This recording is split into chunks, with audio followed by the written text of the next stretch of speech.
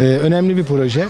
Türk futbolunun kalkınmasıyla ilgili sürekli bir şeyler yapılıyor. Projeler, çalışmalar yapılıyor. Ama e, burada devamlılığı olan projeler önemli. Biz de Kepez Belediyesi ve Kepez Belediye Spor Kulübü olarak geçen sene başlattığımız, planladığımız çok önemli bir proje olarak görüyoruz.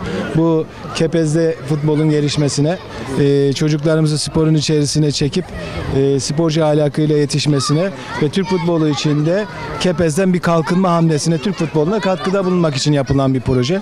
Çok önemli bir proje.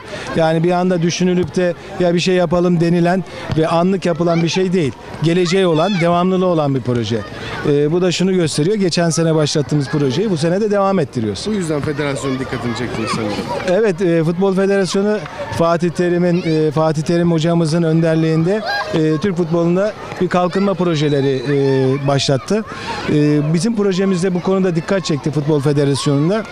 Futbol Federasyonu şu anda kendisine dört tane model program belirledi. E, bizim bu çalışmamızda o dört model programın içerisine alındı.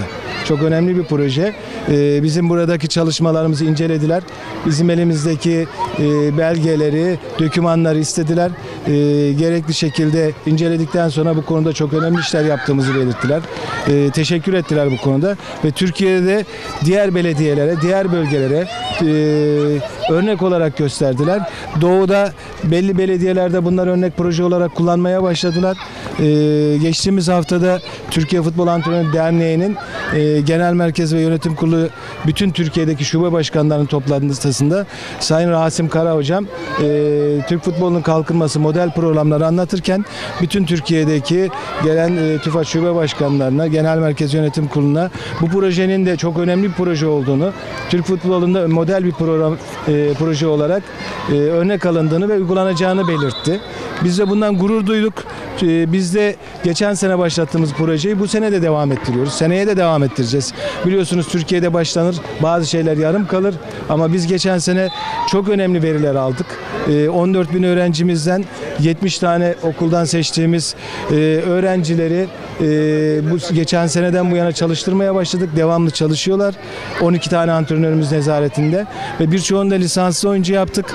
E, yaşı tutan, lisans çıkartmaya yaşı tutan oyuncularımızı. Bu çocuklar Kepez Belediye Spor Kulübü'nün altyapısında oynamaya başladılar.